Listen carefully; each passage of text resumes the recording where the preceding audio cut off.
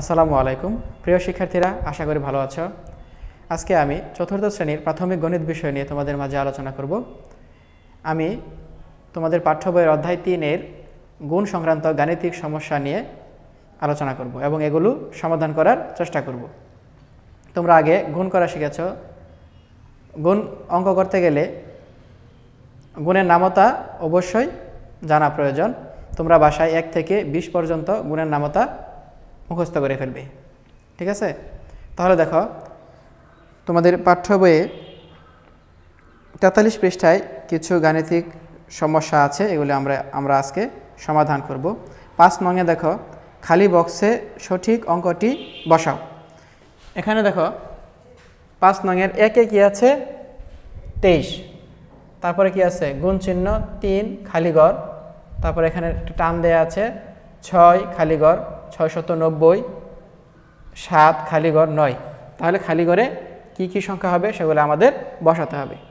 তাহলে দেখো, এখানে এখানে একটি অঙ্ক ছিল যে অঙ্ক এই শূন্যের সাথে বা যে সংখ্যাটি এই শূন্যের সাথে যোগ করলে নয় হলো। তাহলে এখানে কি ছিল? নয় ছিল। তাহলে এখানে আমরা লিখলাম নয়। এখন খালিঘরের এই সংখ্যাটি আমরা পেয়ে গেলাম।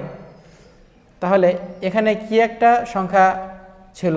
যে সংখ্যা দিয়ে এই তিনকে গুণ করলে এই নয় হবে। তাহলে কি? এক দ্বারা যদি তিনকে গুণ করি, তাহলে তিন একে তিন, দুই দ্বারা ছয়, তিন দ্বারা গুণ করলে নয়। তাহলে এখানে আমরা কি পাচ্ছি? তিন। তাহলে তিন দ্বারা গুণ করলে কি হলো? তিনে তিনে গুণ করলে নয়, তিন দুগুণে ছয়। তাহলে এটা আমরা পেয়ে গেলাম। দুটি সংখ্যা আমরা পেয়ে গেলাম খালি করে। তারপর এখানে এটা দেওয়া আছে। এখন যোগ করি আমরা। যোগ করলে নয়, শূন্য আর নয় যোগ করলে নয় নয় আর ছয় যোগ করলে কত হয়? পনেরো। পনেরোর কী লিখব আমরা?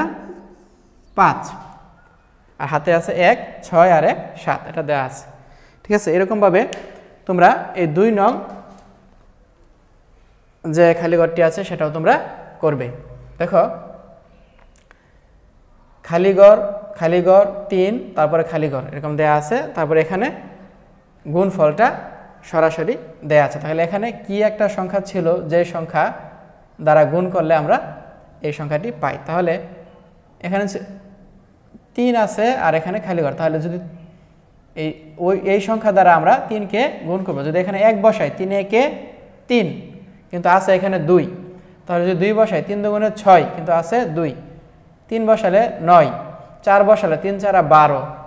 ঠিক আছে? তাহলে আমরা চার এখানে বসালাম। পাঁচ বসালে তিন পাঁচে পনেরো, পাঁচ হবে ছয় বসালে তিনশো আঠারো, আট হবে। তো এরকমভাবে চার বসালে কি হয়? বারো হয়। বারোর দুই আমরা এখানে লিখলাম। তাহলে এই শুধুমাত্র চার বসালে কিন্তু এখানে দুই হয়। তাহলে এই সংখ্যাটি আমরা পেয়ে গেলাম। এখন আমরা জানি কি? যে গুণ হচ্ছে বাঘের ভাগ প্রক্রিয়ার বিপরীত প্রক্রিয়া। তাহলে যেহেতু আমরা এখানে সংখ্যাটি পেয়ে গেলাম, তাহলে এই সংখ্যার সাথে এই সংখ্যাটা গুণ করলে আমরা এটা পেলাম। তাহলে এই সংখ্যাটাকে যদি আমরা চার দ্বারা ভাগ করি, তাহলে কিন্তু আমরা এই সংখ্যাটা পেয়ে যাব। কারণ এই সংখ্যাটা পুরোপুরি আমরা পাইনি। এখানে খালি ঘর, এখানে খালি ঘর আছে, এই জন্য পাইনি। তাহলে এই ভাগ প্রক্রিয়াটা তোমরা রাফ খাতায় করে নেবে।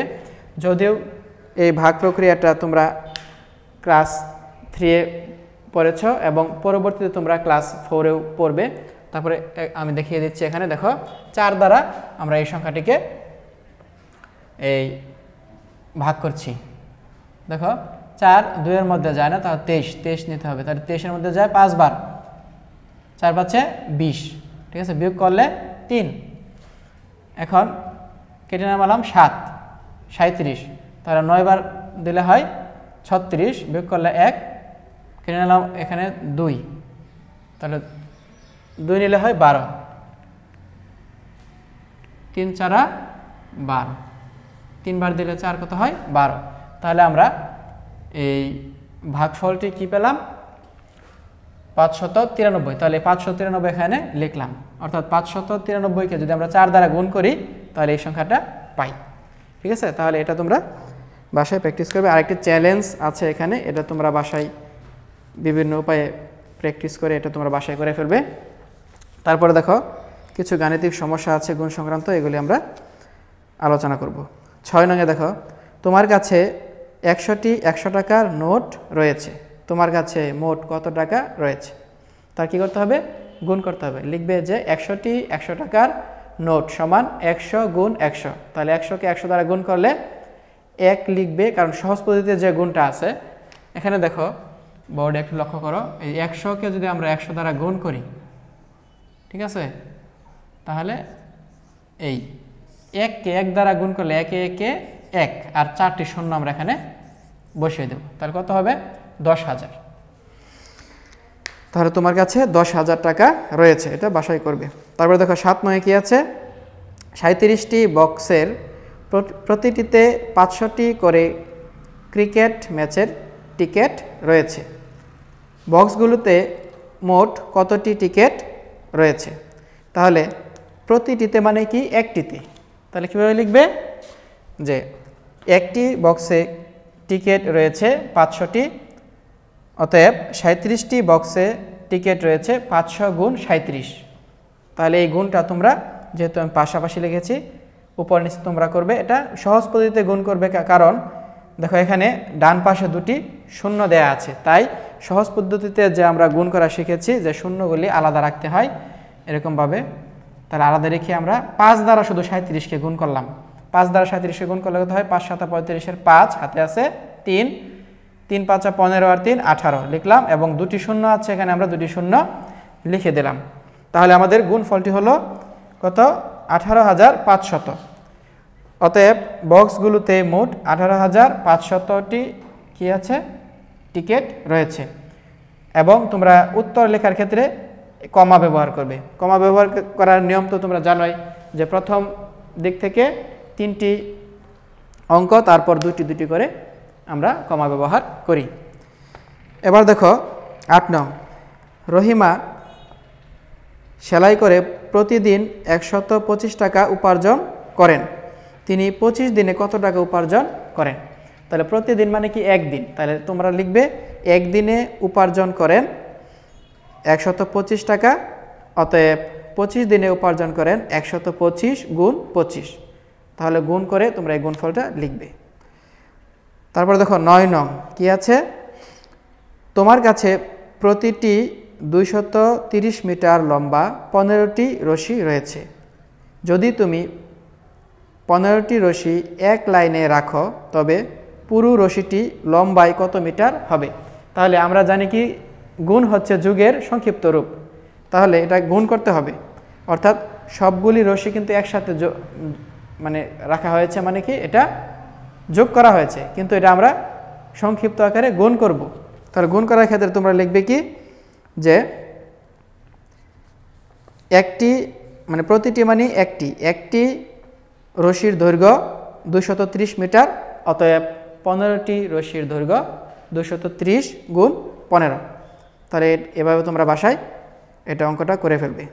এবার দেখো দশ ন। দশ নয় কি আছে? যদি তুমি একটি মাটির ব্যাংকে প্রতি মাসে একশত পঁয়ষট্টি টাকা জমাও তবে এক বছরে তুমি কত টাকা জমাতে পারবে? তাহলে তুমি প্রতি মাসে, অর্থাৎ এক মাসে জমাও কত? একশত পঁয়ষট্টি টাকা। তাহলে এক বছর এক বছর সময় আমরা কি জানি? বারো মাস। তাহলে এভাবে লিখবে যে আমরা জানি এক বছর সমান বারো মাস। তাহলে এক মাসে জমাই একশত পঁয়ষট্টি টাকা। অতএব বারো মাসে জমাই একশত পঁয়ষট্টি গুণ বারো। তাহলে গুণটা আমি এখানে রাফে করেছি, তোমরা এরকমভাবে পাশেই, ডান পাশে কিন্তু সুন্দর করে টান দিয়ে রাফটা করে ফেলবে এবং কাটাকাটি করবে না। কারণ পরিষ্কার হাতের লেখা কিন্তু একটি ভালো ছাত্রের বৈশিষ্ট্য এবং ভালো বৈশিষ্ট্য ঠিক আছে? তাহলে হাতের লেখা সুন্দর করে রাখবে এবং সুন্দর করে লিখবে। তাহলে বারো দ্বারা আমরা এই একশো পঁয়ষট্টিকে গুণ করি। দেখো, দুই দ্বারা গুণ করলে কত? পাঁচ দুগুণে দশের শূন্য ছয় দুগুণে বারো আর এক, তেরো। তেরোর তিন, হাতে আছে এক, দুই একে দুই আর এক, তিন। তারপর একটা শূন্য দিতে হবে, কারণ দশক স্থানের অঙ্ক দ্বারা যদি গুণ করে আমরা জানি একক স্থানে একটা শূন্য দিয়ে নিতে হয়। তাহলে একটা শূন্য দিলাম, পাঁচে একে পাঁচ, ছয় একে ছয়, একে একে এক। তাহলে যোগ করলে কত হয়? শূন্য, পাঁচ তিন আট, ছয় তিন নয়, এক। তাহলে গুণফল পেলাম এক হাজার নয়শত আশি টাকা। অতএব আমি এক বছরে এক হাজার নয়শত আশি টাকা জমাতে পারব। তাহলে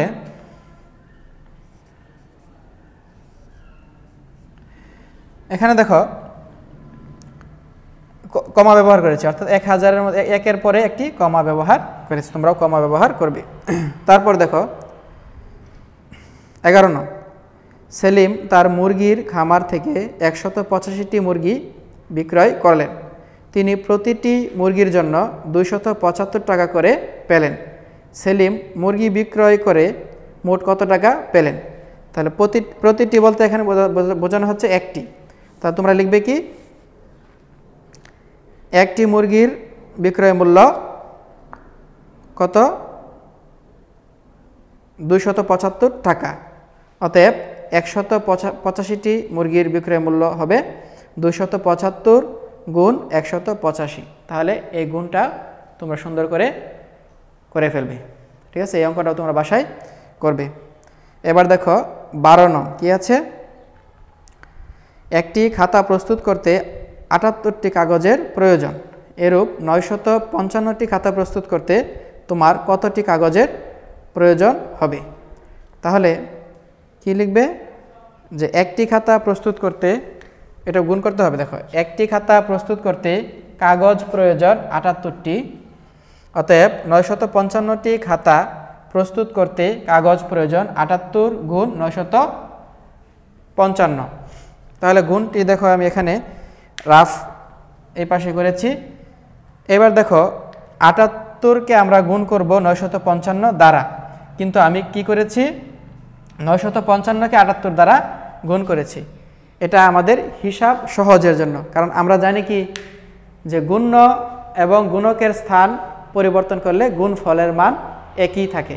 এজন্য আমরা, যাতে হিসাব সহজ হয়, অর্থাৎ যদি আমরা আটাত্তরকে নয়শত পঞ্চান্ন দ্বারা গুণ করি, তাহলে এভাবে তিনবার, অর্থাৎ তিনটি অঙ্ক দ্বারা এইটাকে গুণ করতে হবে। আর যদি আটাত্তর দ্বারা গুণ করি, তাহলে দুইবার গুণ করলেই, অর্থাৎ দুইটি অঙ্ক দ্বারা গুণ করলেই হবে। তাহলে এই গুণটাও এখানে আমরা, আমি সুন্দর করে করে দেখিয়েছি। তোমরা এভাবে বাসায় করবে। তার গুণফল হলো চুয়াত্তর হাজার চারশত নব্বই। অতএব চুয়াত্তর হাজার চারশত নব্বইটি কাগজের প্রয়োজন হবে। ঠিক আছে? আশা করি তোমরা ক্লাসটি বুঝতে পেরেছ। তাহলে বাসায় সুন্দর করে এগুলি প্র্যাকটিস করবে। আর এখানে এইচডাব্লিউ হিসাবে তোমরা বাসায় করবে। এই পৃষ্ঠায় যতগুলো অঙ্ক আছে, সবগুলো তোমরা এইচডাব্লিউ করে ফেলবে। কারণ এগুলো তো আমাদের প্র্যাকটিস করার প্রয়োজনই হবে। তাহলে এই পৃষ্ঠাটি তোমরা তেতাল্লিশ পৃষ্ঠায় সবগুলো তোমরা এইচডাব্লিউ করবে। তাহলে আজকে এর মতো এখানেই শেষ করলাম। সবাই সুস্থ থাকো, ভালো থাকো। এই কামনায় খুদা হাফেজ।